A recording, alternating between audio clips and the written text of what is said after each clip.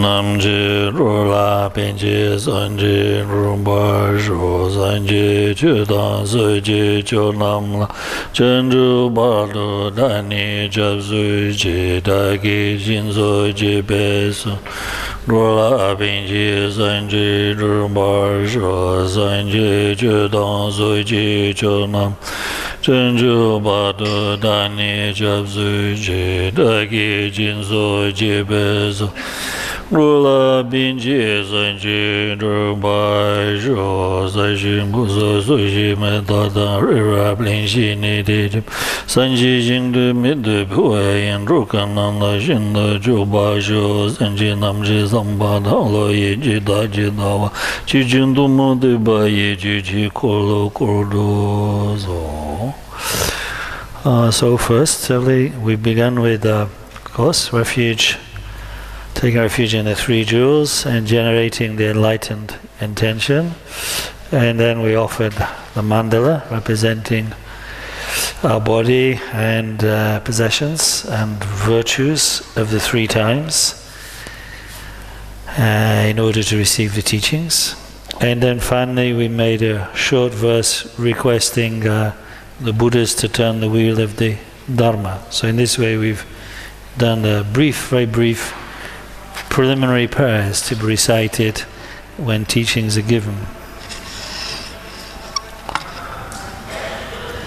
Uh, so, concerning that, uh, it said that at the time of receiving teachings, it's very important for us to have kind of a right attitude, and uh, usually, therefore, it's explained that we can define the wrong attitude for receiving the teachings or the wrong kind of approach to receiving the teachings by the analogy of a, of a pot. So if we have a pot and we wish to fill it with water, if the pot is turned upside down, obviously no water can go into the pot. And so similarly, if we are physically present at the teachings, but our attention is elsewhere, then mm, we cannot even hear the instructions at all. We don't, don't receive them in the first place. But if we receive the teachings, but then don't retain them in our mind, how can we study and practice them subsequently? So, this is comparable to the second type of pot, which is turned the right way up so the water can go in it when it's poured, but it has a hole in the bottom. So the water goes in but immediately drains out. So therefore we cannot drink that water because it's gone. Similarly, if we hear the teachings but don't keep them in our memory, then we cannot practice them later. So we must retain the teachings that we hear because they're for us to use. And then, thirdly, when we're listening to teachings, is not enough just to hear them and retain them. We must have kind of correct motivation, a mind that's not mixed with any impure motivations. Because otherwise, it's like a pot. Our mind is like a pot that is turned the right way up, that has no holes in it, but has poison in the bottom. If we pour water into that pot and then drink it, we'll poison ourselves. So, similarly, if when we are receiving the teachings, we have motivations like, oh, I'm so great, or this will make me so great, or I become so powerful, or I'll be able to impress people. These are kind of examples of impure motivation. So we, we must replace them with pure motivation for receiving the teachings which is, of course, as His Holiness and uh, Shamar told us so many times, the bodhicitta, the resolve to become a Buddha for the sake of others. Without this motivation for receiving Mahayana teachings, then it's just like a waste. So we need to check our mind when we go to receive teachings. So now we're uh, it's the third evening for studying Geshe Chekawa's Seven Points of Mind Training through the commentary composed by the fifth Shamar Rinpoche, Konchog Yenlag. And uh, so, of the seven points, we've reached the third point, which is how to transform negative conditions that arise when we're trying to practice the path how to transform them into the path itself. So, as you remember, this point is divided firstly into instructions on how we can use the perspective of conventional bodhicitta. We meditated conventional bodhicitta in point number two. Now, how to use that kind of understanding that we got through that in turning negative situations into the path. And that we completed last night. So now the second for changing our attitude when we encounter negative situations is to rely on the perspective of ultimate bodhicitta. So this maybe in a ways is a little more difficult uh, to, to apply initially. But anyway, this is how it's taught. To transform adverse circumstances into the path through ultimate bodhicitta as is taught. So Geshe Chekawa's root text says, Meditate on appearances arising from confusion as being the four kayas. Emptiness is the supreme protection.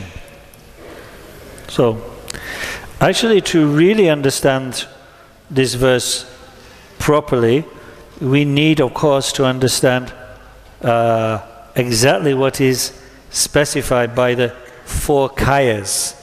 Kaya, of course, is a Sanskrit word, and it refers to the, the bodies of an enlightened, of a Buddha, of a fully enlightened Buddha. That is to say that a Buddha's reality compro- comprises four different modes, four different modes of being. And so, here the teaching is telling us that we can train, we can come to see how whatever arises for us, whatever appearances arise for us in this world, how, although they are the projection of our own mind, they are empty precisely because they are just the projections of our mind. Like the mind itself, the appearances, whether good or bad, positive or negative, beautiful or ugly, they are all just emptiness, like the mind itself. So, this is how Shama Kyuncho Yenlaki explains this. All forms of suffering and undesirable circumstances emerge from the mind's confused projections. That is a if um, the ignorance that is arising in every moment for us was replaced by transcendental wisdom, if we had conquered ignorance, then all appearances would be totally pure for us. But because of this ignorance that is arising every moment, which we do not recognize, firstly, that all appearances are our mind, and we do not recognize that, like the mind, they are empty. So they are confused appearances or confused projections. We think of them as external to the mind, and as we saw in the evenings, first evening's teachings, we label them good and bad, and we react to them with desire and hatred and so on. But despite that, they're never anything but the projections of mind, just like the appearances we see in a dream. And the mind itself that projects them, we cannot find. It has no intrinsic nature, it's empty. So, the very nature of confusion is wisdom.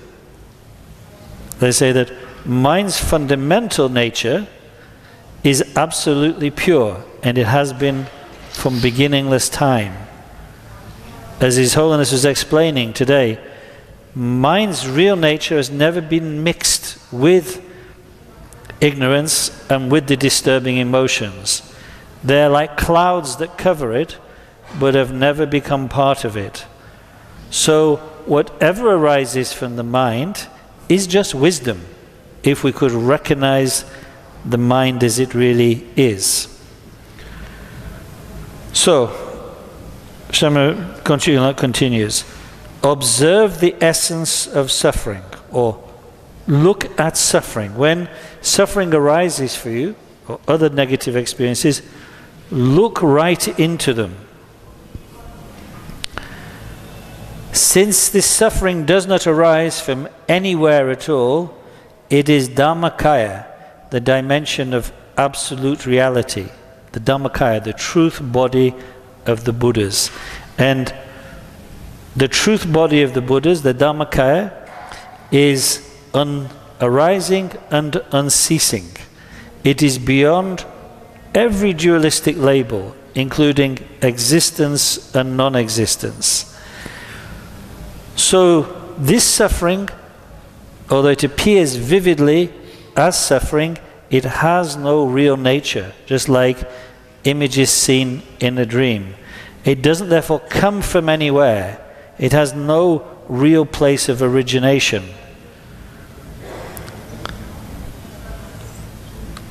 And so, even in its arising, that suffering is empty and has never changed into anything else.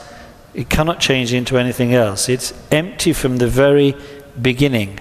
And that emptiness is the true nature of reality, which we call the Dharmakaya, the truth body.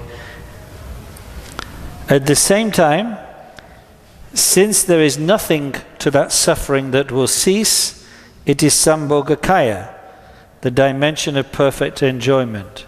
Means only something that has a beginning in time can end. But as this vivid appearance of suffering or whatever it has has no real beginning because it's always empty, we cannot talk about it ceasing as it would if it had a true beginning. So its unceasing nature, in the sense that it is always just emptiness and never changes from that, is we call Sambhogakaya.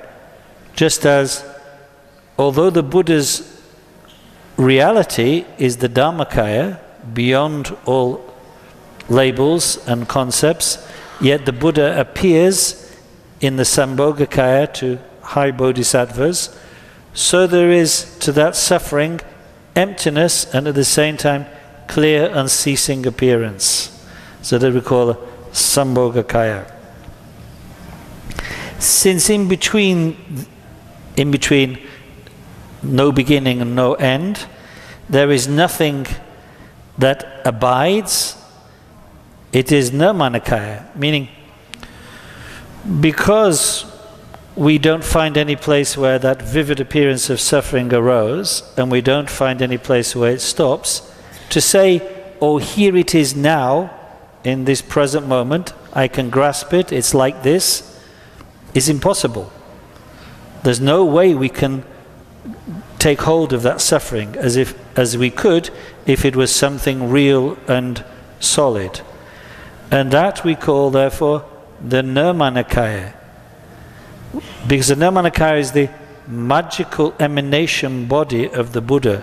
The way that although the Buddha had achieved enlightenment eons ago, he appeared in this world two and a half thousand years ago in India to perform the 12 deeds of a Buddha. All this was a magical display to train sentient beings in the way to enlightenment. The Buddha really, his real nature, never changed from the Dharmakaya, but magically there arose to the vision of human beings this emanation form. So, similarly, this suffering is vivid and distinct, but when we as it were, we could pop it. It has no solidity. This is its nirmanakaya nature.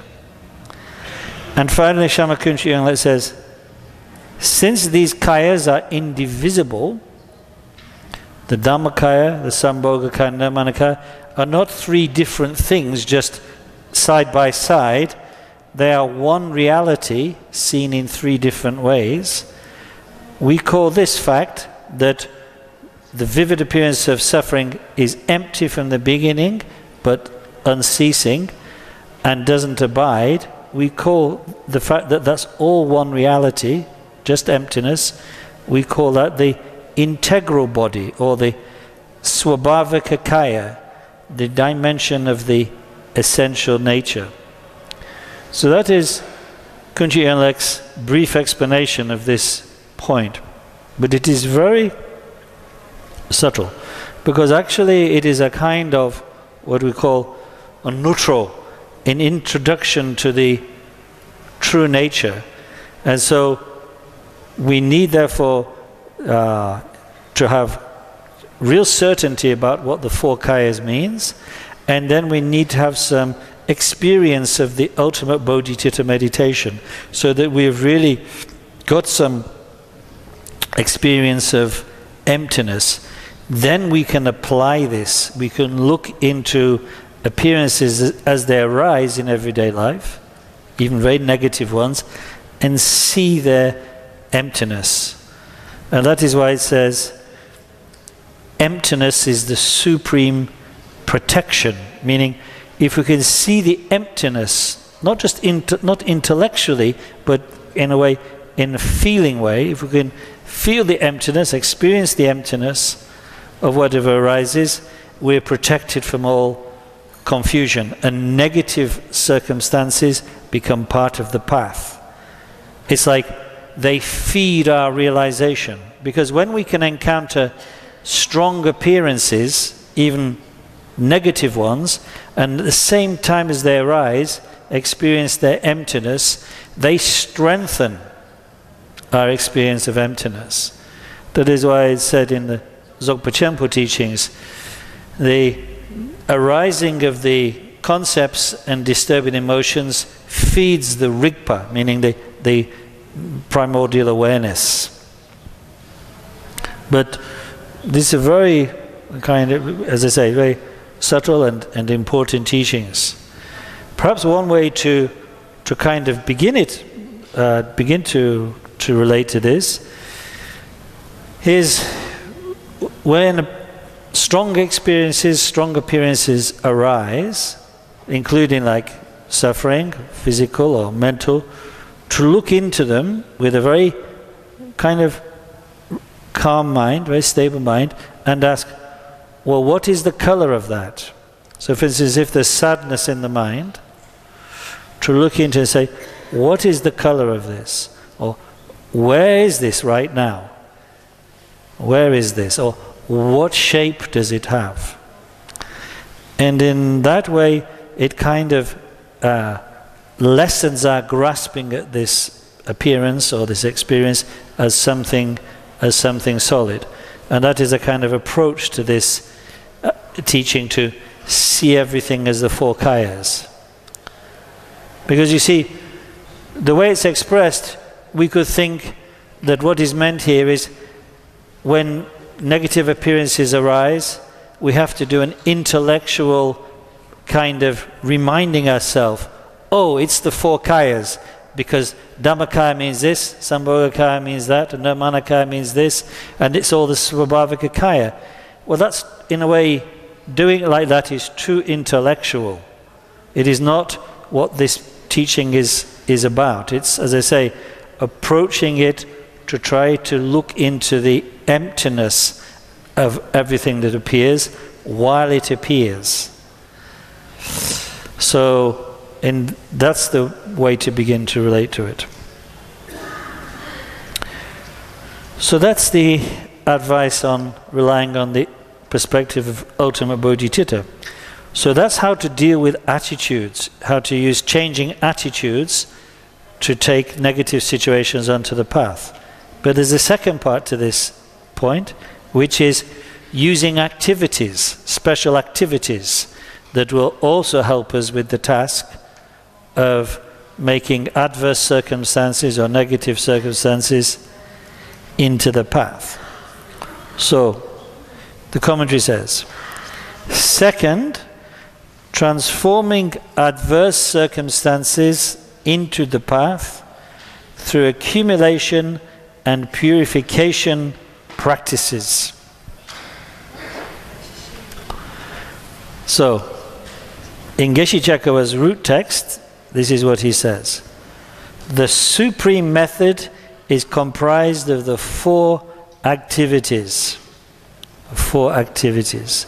So there's a, there are four uh, kind of collections of techniques we're going to hear about now, which will be very helpful in giving us the, the power to deal with negative situations that, as we mentioned last night, will definitely arise for us if we practice the Dharma strongly. So, the first of these activities, or forces, or powers, if you like, the first of these, Konchog Yenlag says, is the activity of accumulating merit, which, of course, happily enough, uh, we've been discussing with listening to His Holiness explain to us. So, Konchog Yenlag says, whenever that you, you feel that you would like to be happy, I suppose that's right, most of the time. oh no, I think I'd rather be sad today. it's funny how we don't say that very often. Whenever you feel that you would like to be happy, consider, he says, consider that this wish for happiness is a sign that you should accumulate merit. Why? Because merit is the cause of happiness. Of, uh, that means, of course, a happiness that is not originating with something non virtuous. If you think happiness comes from beating your friends and stealing their food and so on and so forth, then that's another thing. But for authentic happiness, then it comes only from virtuous actions. That is, as we mentioned before, the kind of fundamental equation because there's a relationship of connection or dependence between virtue and happiness. So if I think to myself, what must I do to be happy? Well, apart from going to the nearest excellent new Indian shopping mall, a real more profound answer is I need merit. I need to, to accumulate merit. How? Kunji says, accumulate merit through body, speech, and mind. In other words, well, you've got the equipment for making merit. You've got body, you've got speech, and you've got mind. So use these to do merit, very powerful virtuous actions that produce the merit that ripens as happiness. So he mentions some activities we can use. Making offerings to the Lama and the three jewels. Making offerings is so good because it's, of course, a great form of giving. And as Nagarjuna says, there is no better friend for the next life than giving. So even if we're just concerned with, with kind of uh, worldly happiness in this life and the future, practice practice giving. There is no there is no better friend. And if the giving is to really superior objects like our lamas and the three jewels, so much stronger the merit will will be. So make offerings to the lama and the and the three jewels. Serving the sangha. Again, here the the recipients of our service, our help, are noble uh, field. It's said in the Sutra of the Three Jewels, the Sangha are an excellent, it means the ordained Sangha, by the way, the, the, the renunciate Sangha is an excellent field of merit. So, therefore, to serve uh, our monks and nuns is a wonderful way to make merit because they are the pure sign, the pure embodiment of the training in moral discipline. So their moral discipline, the purity of their moral discipline, kind of rubs off on us if we serve them with respect. So serve the ordained Sangha. And then he says, offering tormas to elemental spirits and so on. You know, there's, there's another way to make merit. But that will also be dealt with under another heading. So we'll, we'll come back to that. And one could also add to this things like making prostrations. There's a wonderful way to make merit. Reciting the, the, the Buddha words, the sutras, like reciting Heart Sutra and uh, reciting the aspiration prayers, like King of Aspiration Prayers, Samantabhadra's prayer, 10th chapter of the Bodhicharyavatara, which is Holiness taught in Karmagun many years ago, and uh, the um, uh, prayer from the uh, Palmo, the great nun Gelongma Palmo. So these kind of prayers would be very good.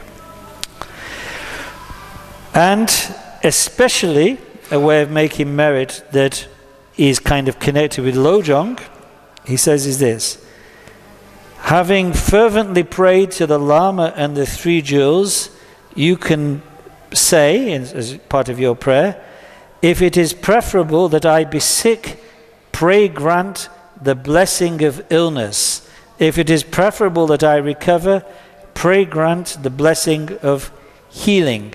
If it is preferable that I die, pray grant the blessing of death. Why is this?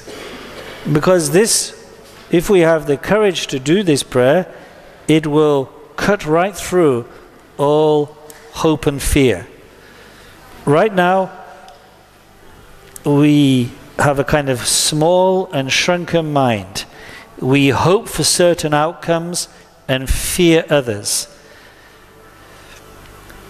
But Lojong generates in us an enormous openness and courage because we learn to see the emptiness of all phenomena, whether positive or negative.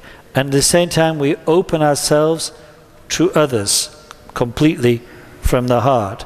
So, to strengthen that courage and openness of Lojong, we can try to pray like this. In other words, whatever is to happen is okay. Whatever is to happen, I accept. Whatever will be better for my Dharma progress, I will accept. I will not try to control and manipulate things to protect my ego.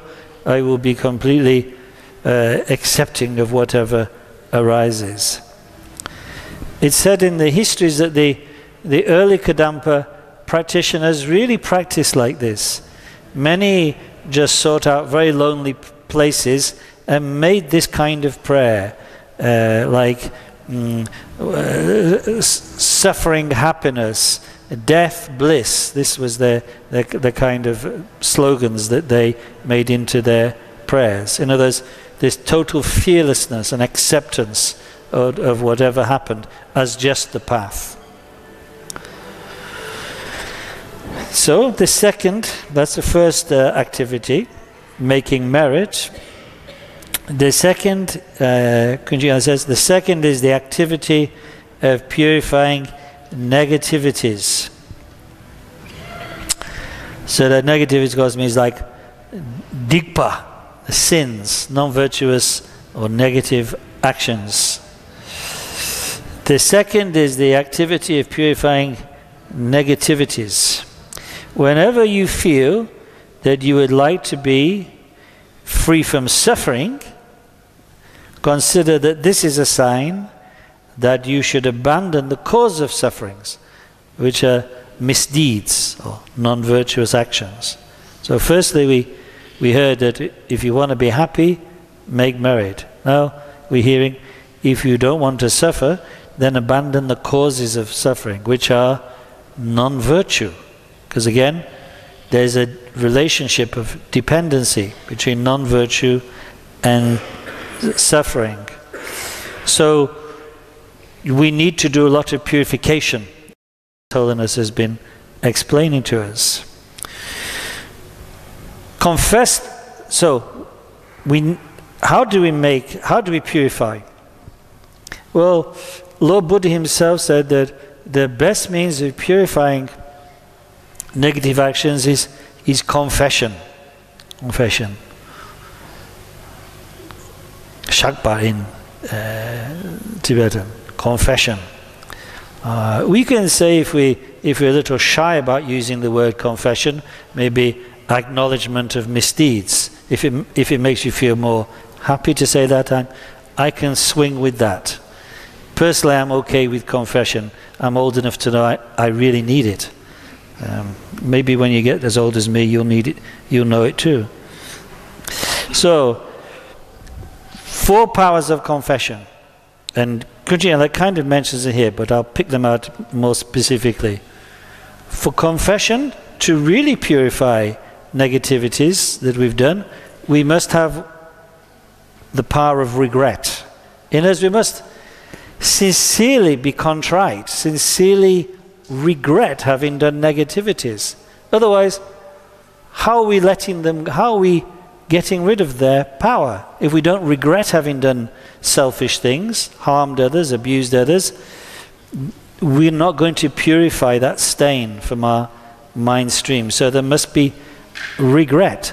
And regret comes, of course, through understanding the consequences, the problems we've caused for ourselves and for others by negative action. So, first, regret. As Kunjina says, confess those negative actions of the past with remorse, not regret. Yeah? But regret is not enough because we may regret it, but then think, well, I can do it again though whenever I feel like it. So we must have the second power, which is the power of resolve. Resolve not to do that again.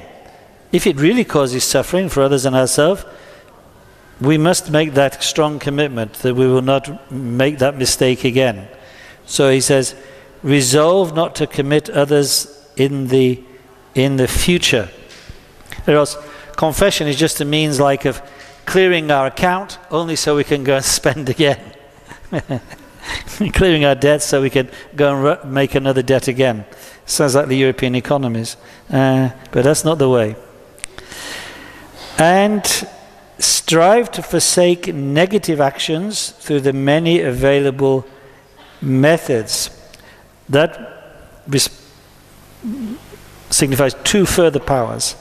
The third power we need for confession to be effective is called the power of reliance, or yes, power of reliance.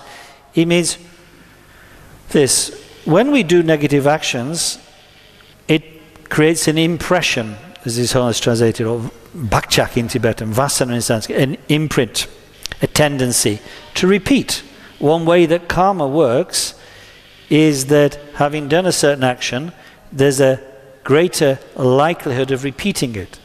It's kind of, that's how part, how in some ways karma ripens. So we need, because we've weakened ourselves, when we do a selfish action, we, we weaken our strength.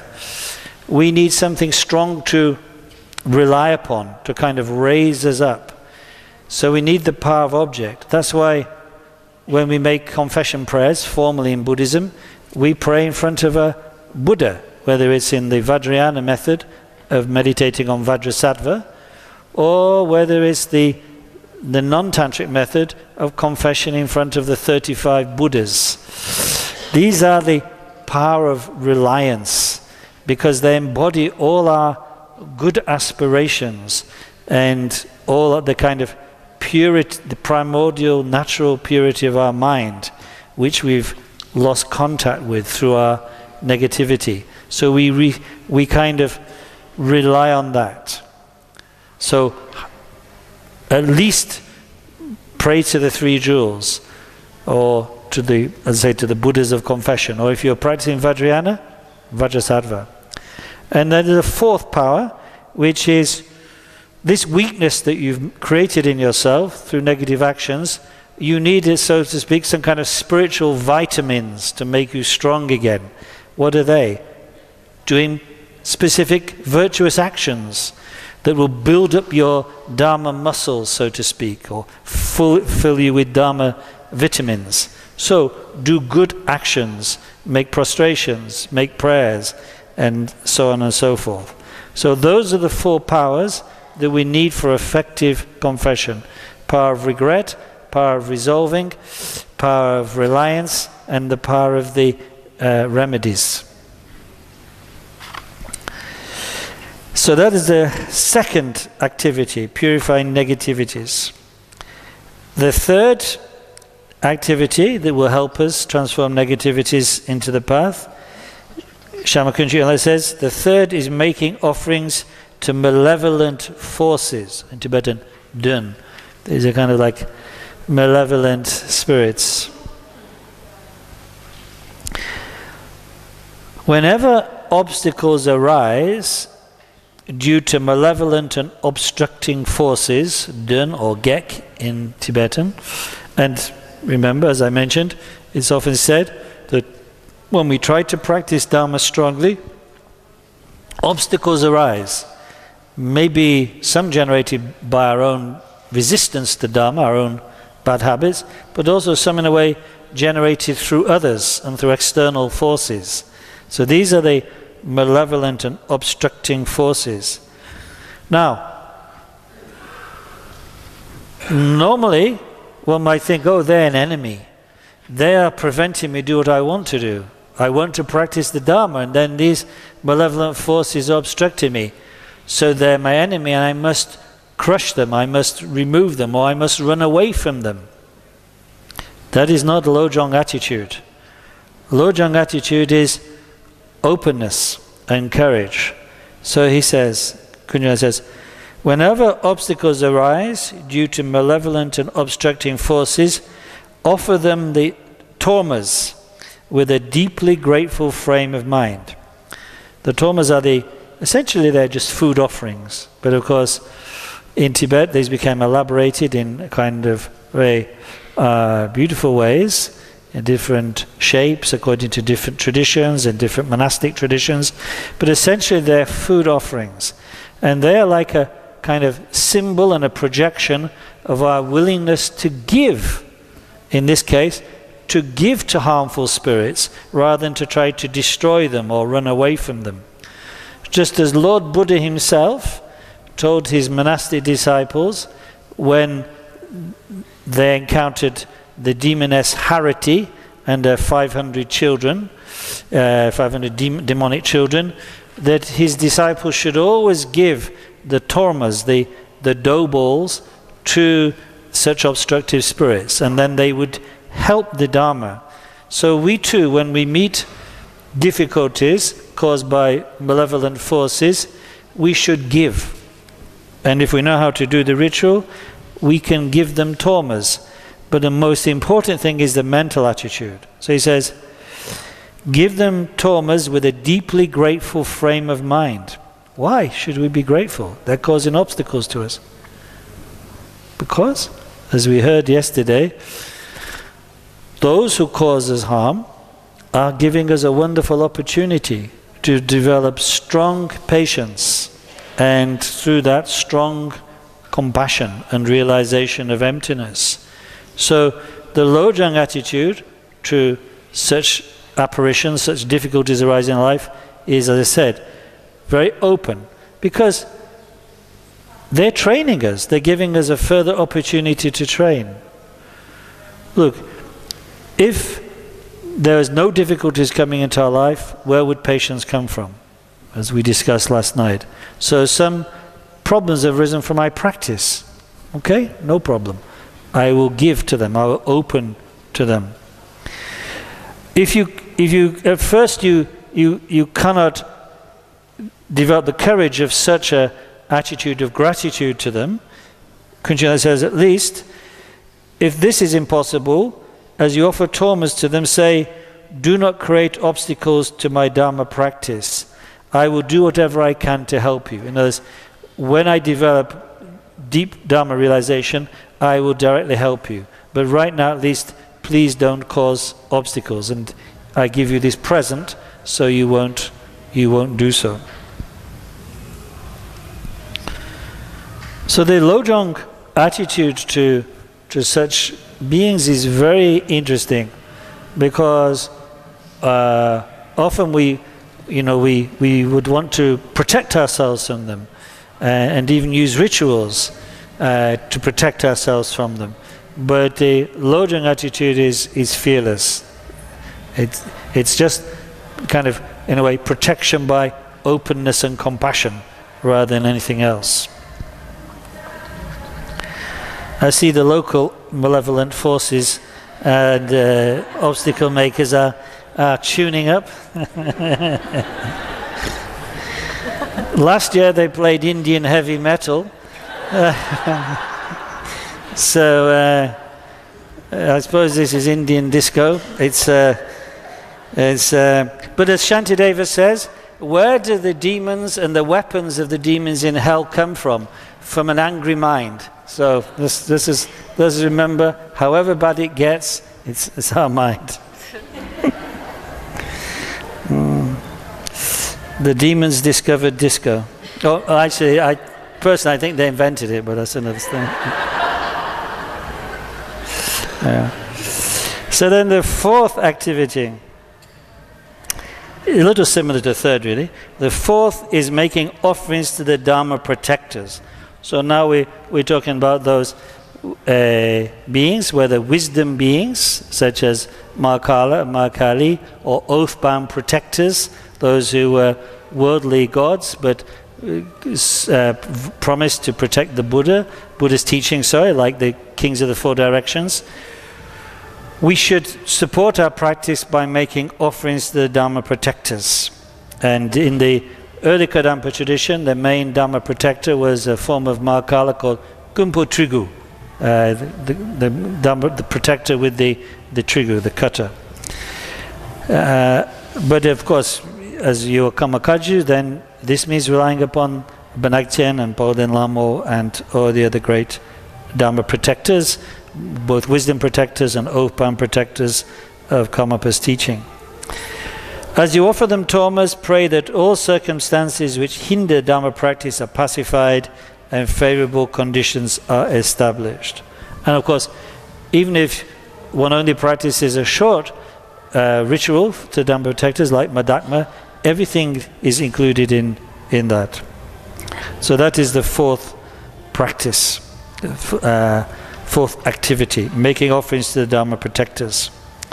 There's one last line in this uh, third point, one last line from the root text. The root text says, Join unexpected events with your practice. If unexpected, so could you like explains, if unexpected tribulations tribulations. That's a very nice biblical word. If unexpected tribulations, like difficulties and trials, if unexpected tribulations such as illness, negative forces, enemies, and so forth befall you all of a sudden, you should think with the utmost sincerity in our universe, there is no end to the different kinds of intense suffering similar to this. May they all gather into myself. You know, Lojong, as I said, is about openness and courage.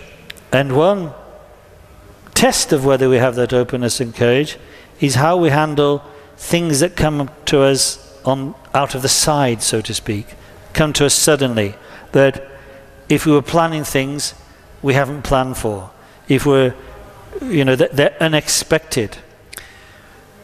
Now, as His Holiness said this afternoon, you know, it's not wrong to make some plans, but of course, that is just our human projection on, on the flow of dependent origination. We don't even know what karma will ripen for us in the future. So unexpected things can always can always turn up. If our minds are very rigid because we're so tight and so wanting to control things and predict things, we will not be able to incorporate those things into our practice.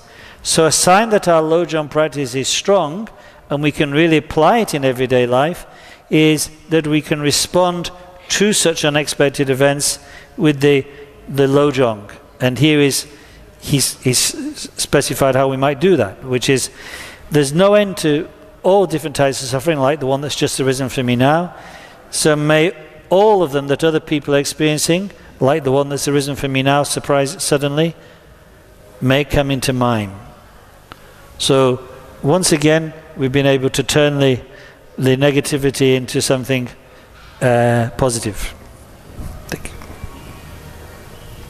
So that's point three. So uh, we need to press on. Time's winged chariot, as the English poet said, is hurrying behind me. Uh, so we, we need to, to press on now.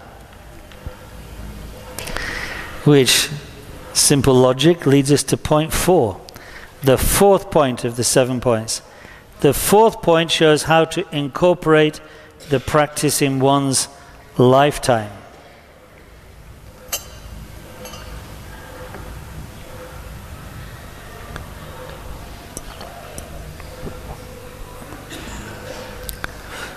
So, Geshe Chekawa's root text, or uh, maybe I explain first. This, there's two parts to this section, the fourth point. One is kind of like instruction for this life, and then the second one is instruction for the time of death. So, first, the instruction for this life. The root text says, the epitome of the uh, pith instructions is the application of the five powers. Pith instructions in Sanskrit is Upadesha, in Tibetan is Menak. So the significance of this is like every cycle of Dharma instructions has some kind of really vital points which if you don't know them you'll not be able to make that Dharma practice work. So we call these the Upadesha or the, the Menak, the pith instructions in English. So for the Lojong, the pith instructions comprises the application of the five powers. So now, Konchog Yenlag will explain what these five powers are, how they to be practiced, what they do for us. Because uh, Rinpoche said uh, when he taught this um, that if we can master these five powers, we can really make the Lojong effective and even achieve the mm, first noble bodhisattva level, just like Geshe Chekawa himself did, the, the joyful bhumi, which otherwise would take like one eon of practice to, to do. So the five powers. The first is the uh, so-called compelling power. Sometimes I, I prefer the English word like impetus, because impetus is something that like hurls you into something, that, that starts you off properly with a great force. Um, anyway, the commentary says, compel your mind forcefully in this way with the thought, from now on, this month, this year, until I die, in fact, until I've reached Buddhahood, I will never be separated from the two aspects of awakening mind, of bodhicitta. I, I see it like this. You know, like uh, in a sprint, in an athletic sprint, like the 100 meters, it's so incredibly important, isn't it? How they come out of the blocks or whatever they call it, like that they, they hurl themselves forward with incredible strength and, and force. If they don't do that right away out of the blocks in the 100 meters uh, dash, then no chance. So it's like the initial impetus is incredibly important in making them successful.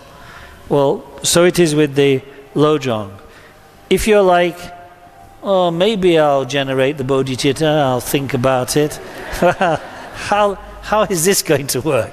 It's, it's, you're not even going to get out of bed, let alone get to your cushion. So, the very first thing is that really extraordinary great resolve. And if you look at the all the great masters in history, the Kadampa, Kagyupa, the Tibetan, Indian, and so on, they all had this incredible resolve. You know, like Jetsun Milarepa, when he when he realized the consequences of his negative action, he had this fantastic resolve to practice, which of course carried him through all the difficulties that he endured. And uh, and he arrived at Buddhahood in this very in one very lifetime. So that's kind of like the evidence of the of the need for this compelling power. So as a Lojong practitioner, our thought is from now till enlightenment, I'll never be separated from conventional ultimate bodhicitta. That will be like the, the main theme in my life. And I'm not going to waste the day. So it begins right now. And then the second power is the part, the second is the power of familiarization. Train again and again in both types of bodhicitta. The word for familiarization in Tibetan is gom. It means like, actually, it's the word also used for meditation, but it means make a habit, develop, cultivate. So, having the compelling force, getting going with great strength is, as we've seen, really important.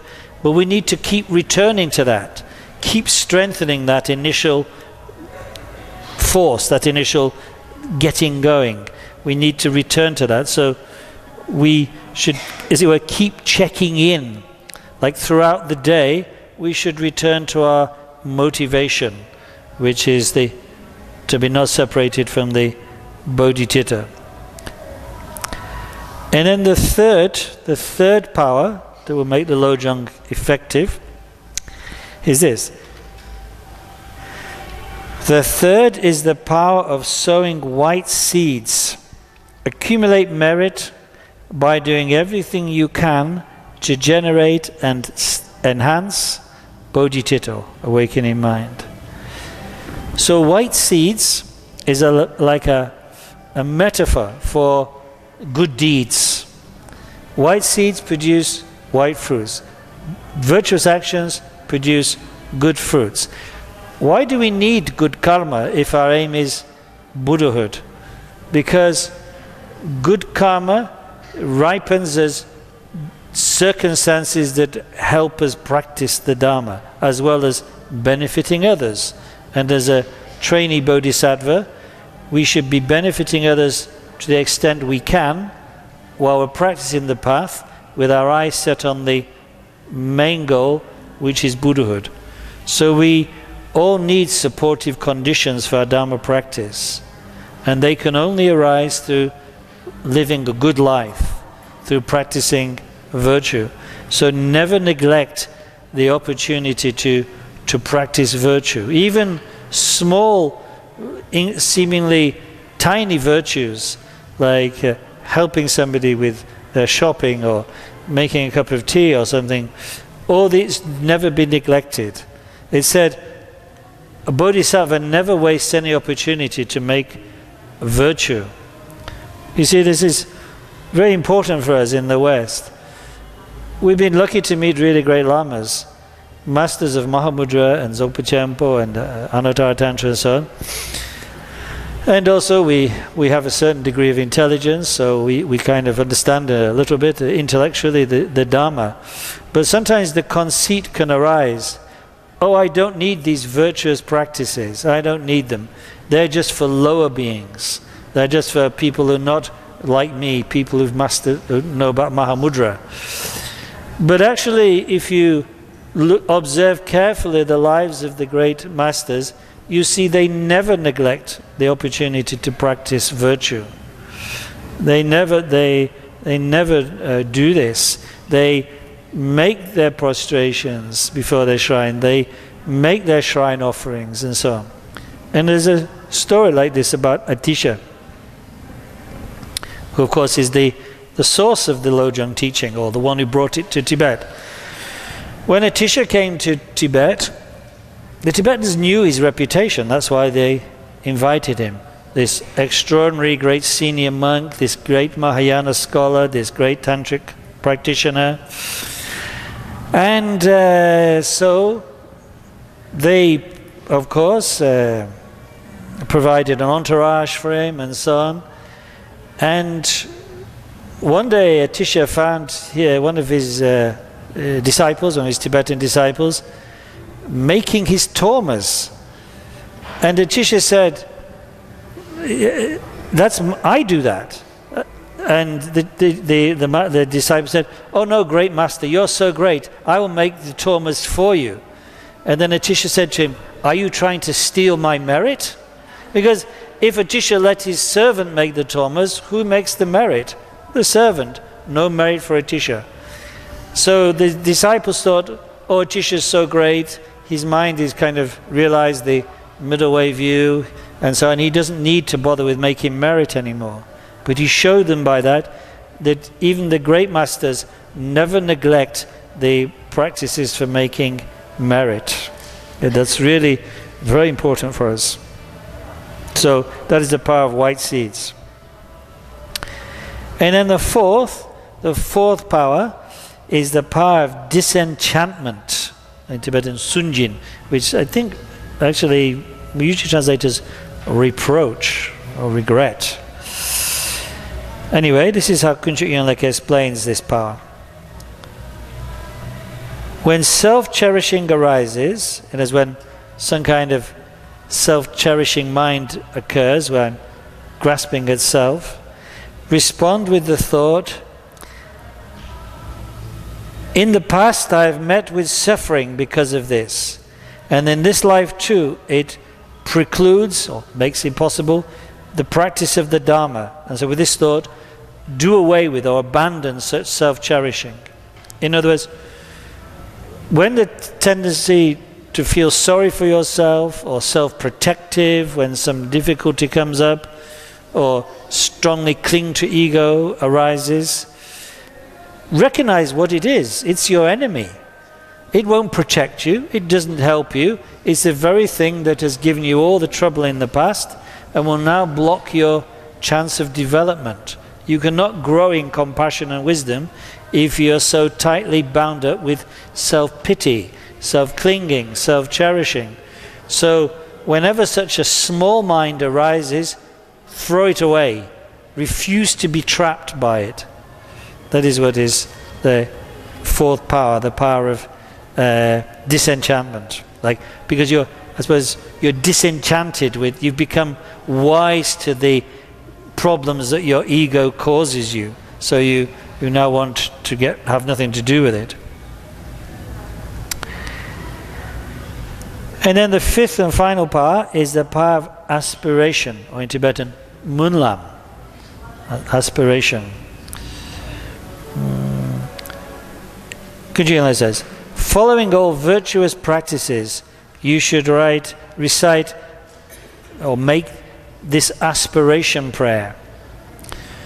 A munlam or pranidhana in Sanskrit is a particular kind of prayer in which you pray for many positive results. Like in the Samantabhadra prayer that His Holiness talked about today, when we pray that, we pray that we'll be able to be reborn in, and go in front of the Bodhi tree and achieve Buddhahood there. We pray that we will see many Buddhas, that will travel to many different realms, make offerings to many Buddhas, and so on and, and so forth. In Shantideva's Munlam at the end of the Bodhicharyavatara, we pray, may a rain of flowers turn all weapons into flowers, and so on and so forth. So we, an aspiration prayer is like a big mind a, a big mind with a great positive intention. And it's very, very helpful for us to have such aspiration. So, particularly in Lojong, he says, recite this aspiration prayer May I never be separated from bodhicitta, or awakening mind, and may I apply myself wholeheartedly to enlightened activities.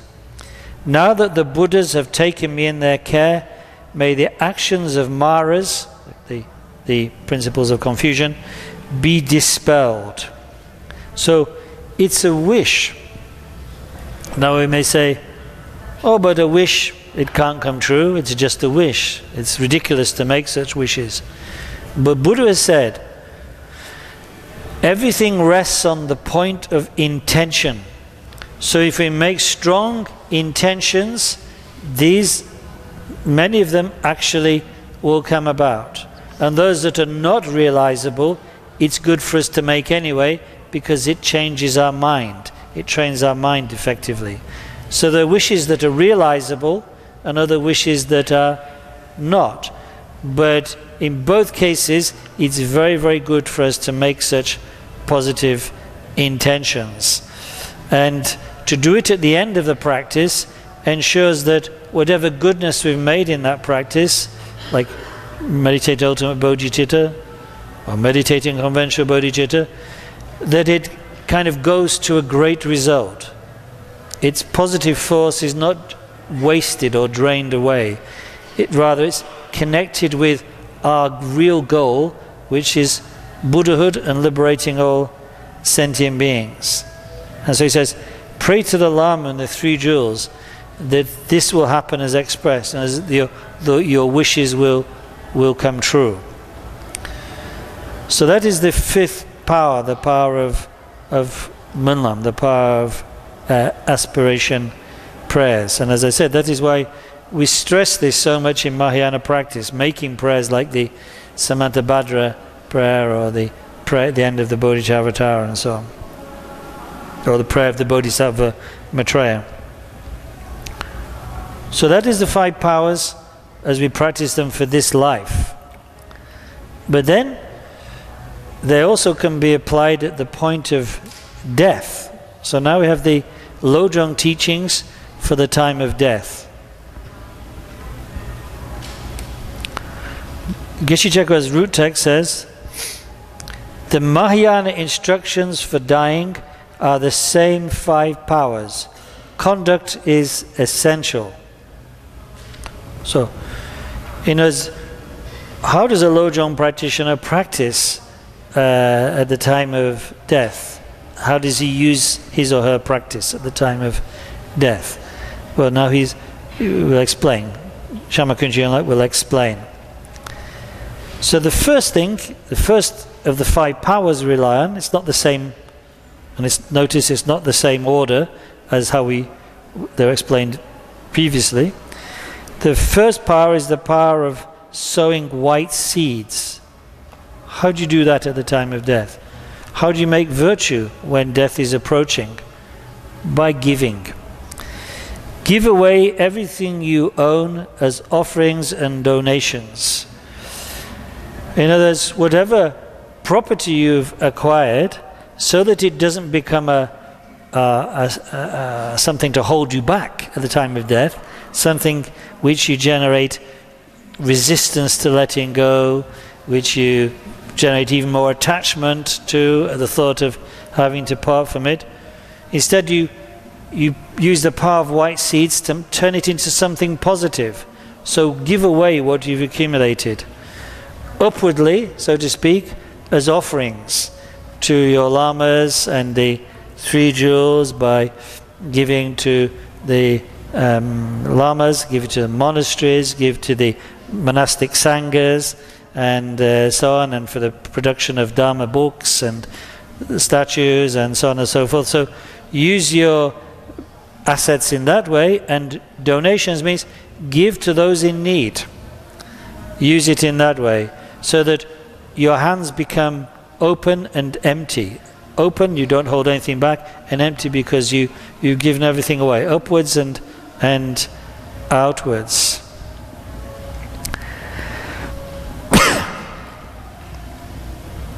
of course, this, uh, uh, this and some of the other points in fact all the other points really, uh, depend upon that the time of death is a kind of is natural and uh, and also you, you, it's kind of uh, not not immediate not not so not instantaneous so the second power to be used as death approaches is the power of aspirations which is the fifth one earlier pray to the lama and three jewels and formulate the wish to perfectly accomplish bodhicitta.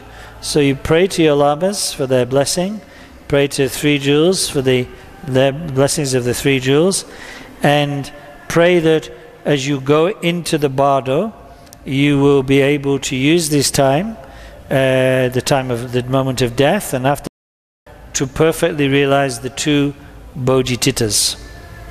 So that is the power of aspirations. And again, it's see, just as giving the, the, through the white seeds is shaping the attitude into something positive. So this now shapes again the attitude so that you go forward into death with kind of openness and acceptance. Seeing it, in other words, as the way to fulfill the path that you entered upon in life. And then the third power is the power of disenchantment or reproach. For this, think so, in as if some uh, fearful or resistant thoughts, resisting death, uh, the oncoming death arise, you have to cast these aside because otherwise they will obstruct you and hold you back. So you should think, even now, up till now, I've been suffering because of clinging to a cherished self in this body. In other words, I've been clinging to this body as if it is the real, my real self. And that's caused me so much suffering. But when examined, there's nothing whatsoever here which is the self. I'm just projecting it, just imagining that there is a self. Actually, from the very moment of conception right till death, there is no self in this body. It is just a uh, appearance without any solidity. So there's nothing to regret or nothing to cling on to. Rather, one should regret the mind that clings onto it and let it go. With this thought, Konchog says, self clinging will surely cease. And then the next two powers the first one is the compelling or impelling power, the first that was discussed earlier. For the compelling power, Shamakunjala says, think, I will train in bodhicitta during the bardo and throughout future lives. So it's like, what's my basic take? What should be my basic take, my basic approach to what I'm going to pass through? It should be, it's a place for training bodhicitta. It's an opportunity for training bodhicitta, for bringing to fulfillment what I've started upon. And until enlightenment, I will continue in this way. So it's like you go forward to meet it. You see it as a continuation of your practice.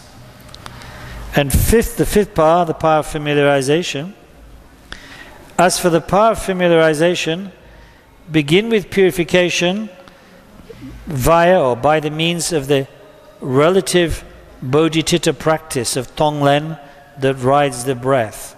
Then settle without, so then settle within the meditative equipoise, that means the meditative stability of ultimate bodhicitta, free from any conceptual grasping. So, you know, with this fifth power, Konchog explains to us the essential meditation practice. The first four powers are like shaping the right attitude, getting our approach right, getting it positive and ready to go forward. Now, for the actual method to be used at the time of death, it is, of course, lojong. In other words, it's using the, the uh, true techniques of conventional bodhicitta, Tonglen, sending taking, and ultimate bodhicitta, realizing mind's emptiness. Now, it's said in the root text, conduct is important. So, this is advice now for your posture at that time. Uh, so he says, conduct entails lying on the right side of the body with your right hand supporting your cheek. So the right side of the body, lying on the right side, is how Lord Buddha lay down in Kushinagara at the time of the parinirvana. So lay if you, of course, if it's impossible, because too uncomfortable, then you shouldn't worry about it. But if possible, at that time, lay on the right side. When you know death is approaching very soon, then lay on your right side. With your right hand supporting your cheek, then block the right nostril with your little finger so that your breath comes and goes from the left nostril. And the, the significance of this is really explained in the, of course, in the Vajrayana. Uh, that is to say that the breath that goes through the right channel is this is called the channel of effort. And experiences can uh, arise very quickly through that channel, but they're not stable. Whereas the left channel is the channel of life, and although experiences don't come so quickly, they're more stable. So it is more suitable to rely on the breath coming and going through the, the left the left channel. So that's why you, if you can, you block the the right nostril. And then you would begin by practicing the sending and taking. So sending and taking through the left nostril. And then switch over to the ultimate bodhicitta practice, to looking right into the nature of mind. Because whatever arises at that time, whatever, even if strange experiences arise through the dissolution of the elements, the gathering of the winds and so on, whatever strange appearances arise, they're just mind. There's no, they're nothing external to mind. And this mind itself has no beginning. And consequently, it has no cessation. It does not end. It never arose as anything. It cannot end. We can't grasp it. It has no location. It is just like space. So it is un- arising, unceasing, unlike space. Just relax in that because that is the natural state of mind. It is what will be experienced in its fullness at the actual moment of death. So the more we settle into it now, as death is approaching, then the more we will be able to recognize it at that moment. So we move back and forth between the two bodhicittas, between the sending and taking, taking the sufferings of all beings onto ourselves as our own death approaches, and sending all the merit we've gained through our practice throughout life to them so that they experience happiness and are placed on the path. And then return again to the ultimate bodhicitta. Until gradually there's a kind of coalescence of these two. That even when we're doing the send and taking, at the same time we are we recognize the nature of mind to be like space. And even when we're resting in the space space like nature of mind, there is a sense of taking the sufferings of others and giving all happiness and, and virtue to them. Rinpoche made a point when teaching this of stressing how the more we can do this during life, the more we can combine the two, so that even when we're walking around during the day, we can practice ascending and taking, and at the same time rest in the space like nature of mind, the easier it will be to do it at the, at the time of death. But this is the essential instruction, the fifth power, familiarization, the actual meditation practice for the time of death. What's very important about this is that it is something that is familiar to us through life. Because, of course, at the time of death, many things are happening. And so, therefore, as for practice, it's essential to rely on the the thing that is most natural to us, that we're most familiar with, because our mind will easily settle in that. Whereas if we try to do something very complicated, we'll, we'll not relax with it. So if we're lojong practitioners, have some experience, then this is the, the practice we should take as the, as the transference, as the Mahayana Powa. And then there's a further uh, uh, kind of additional instruction to this, but maybe it's not so practical nowadays, so you don't need to worry about it too much, but I'll, I'll read it anyway, as Rinpoche did. As for propitious, that means like sacred zetitendrel, the sacred substances. As for propitious substances, thoroughly grind a powder of magnetite. So amateur chemists among you get working. Grind a powder of magnetite and burnt cowrie shells. Presumably every delicatessen has them. Mix it with wild honey and make pea-sized pills beforehand I guess if you're on your deathbed, you better get somebody else to do that for you. I don't know, you know, maybe, maybe, maybe the supermarkets have this ready stocked anyway. When the moment of death is nigh, it's kind of approaching, mix them with ale, chang, which is with beer, and rub some on the crown of their head. So this is the uh, instruction. But this kind of connected with the medicine, of course, uh, because Mm, well, we don't speak too much about the Vajrayana, but the of all the exit places from the body that the mind can, the formless continuum of mind can go through or appear to go through. Of course, the best is the is the fontanelle, uh, not the front one, but the one on the, the cranial dome. So we be preparing that by rubbing the substance on that to make the make it a little easier. And uh, this is because Rinpoche explains that that uh, although the mind, which is formless, rides all the channels in the body, uh, in all the different focal points, nevertheless the one which it rides mostly are the 32 channels in the crown chakra. And therefore, that is why it's best that it exits through that, and that, that we, we prepare it in this way if we can. But I think it's, uh, you know, lamas usually nowadays say about this that if this kind of physical substance preparation is not possible, then we should not worry too much about it. The most important thing is to rely on the, the meditation instructions. Because the last thing I want to do is make, you know, is, is to make anybody anxious about this. Because um, confidence is so important.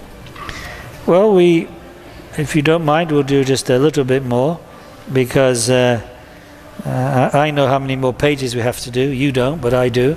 And uh, so I, I, kind of um, feel we need to finish the whole text. So let's do a little bit at least of the fifth point. Because we're now finished the fourth point. The five powers or five forces. We got all the all instructions for this life and for time of death. So the fifth of the seven points. The fifth point presents how to evaluate progress in mind training. Because how do we check whether we're making authentic progress, whether the, the lojong is really working? You see, because if you think about it, if, if you say, oh, my task is to learn Mahakala Puja, it's kind of obvious whether you can do it or not.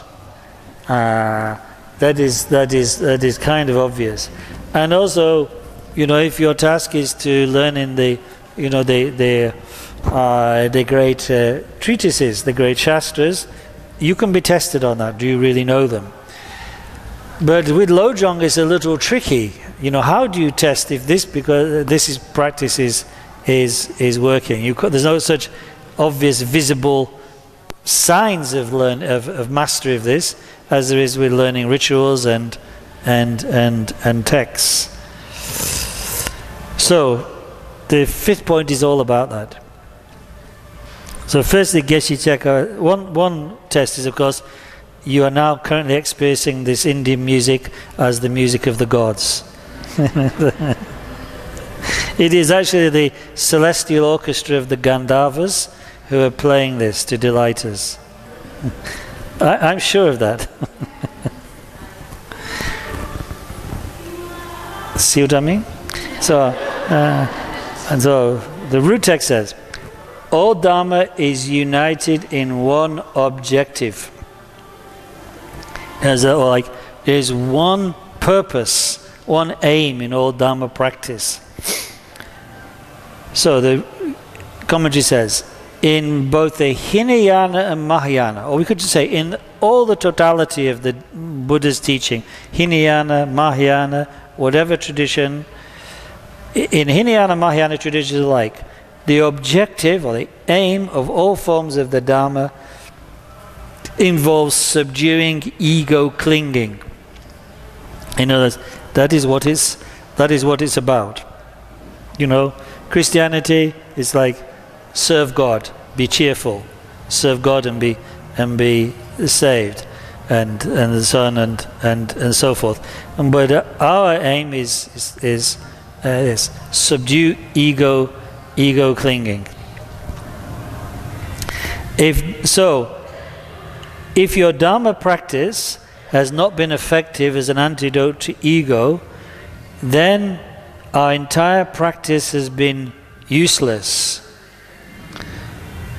If it has been effective as an antidote, then Lojong, mind training, has truly dawned within us.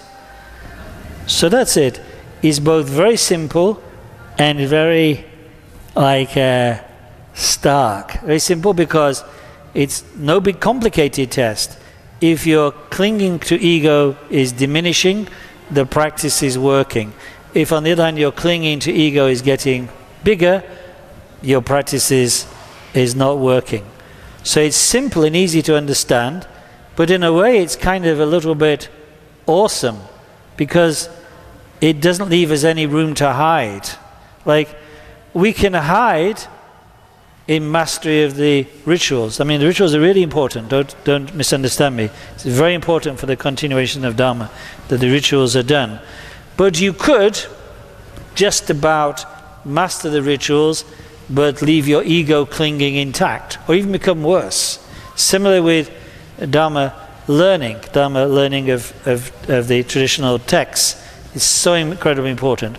But you could do that and still have your ego intact or even made worse.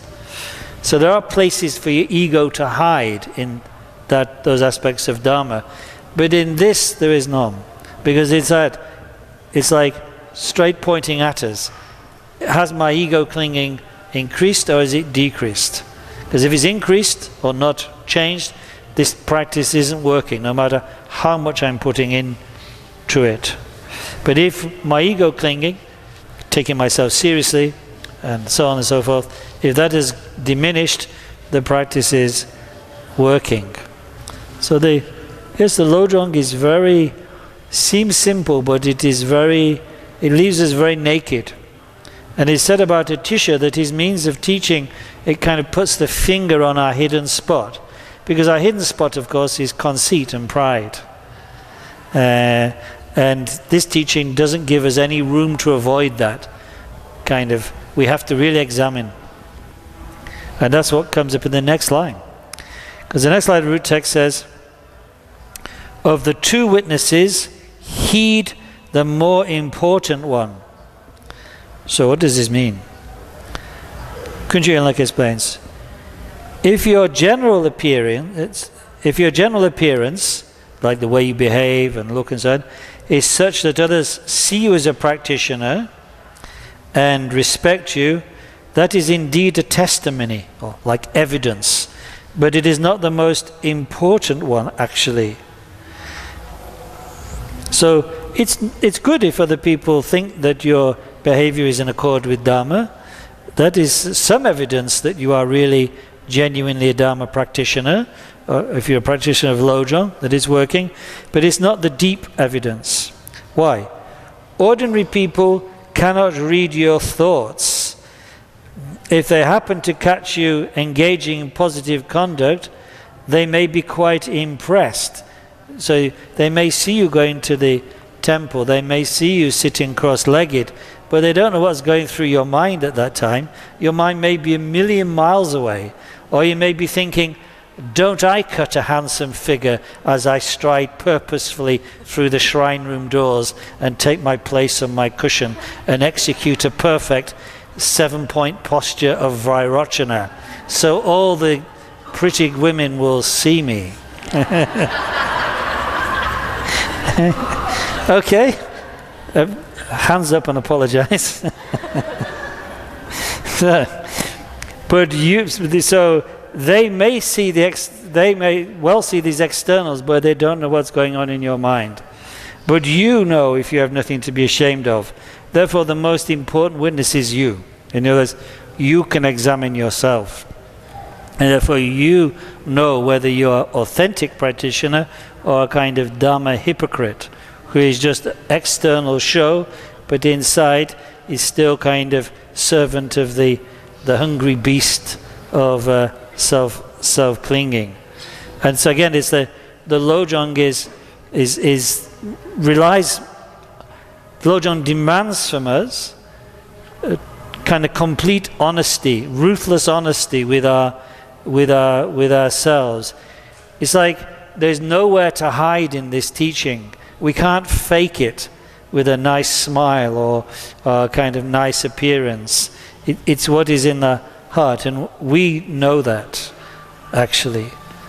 So we need to look into ourselves. And then the third measurement an ever serene mind, uh, happy mind maybe, but if you prefer serene, okay. An ever serene mind is the only recourse. So, Konchog Yenlag explains, from now on, even if a calamitous situation were to arise, it would be acceptable, as you could you could accept it, because you could incorporate it into the path of mind training. With this kind of thought, nothing poses a threat, so relax. So it means like this if you're really trained in Lojong, you don't have that rigidity which likes some things and dislikes others. So he's always reacting with irritation when something unexpected arises. There's a story about Atisha that when he went to Tibet, this is an example of what a great practitioner he was, by the way. When he went to Tibet, he was presented, and you've got to remember, Tisha came from an extremely sophisticated culture. Mm, 11th century Bengal was a wonderful culture, wonderful Buddhist culture, and Atisha is like one of the great products of it, this extraordinarily sophisticated intellectual, so highly cultivated, and with such great spiritual realization. So he goes to this barbarian country, Tibet. And what do they offer him for refreshment? Tibetan tea. of course, it's, can, you can imagine the shock to Atisha this time. But he was truly trained in Lojong because when he was offered this Tibetan tea, his response was, What is this nectar? The gods must drink this.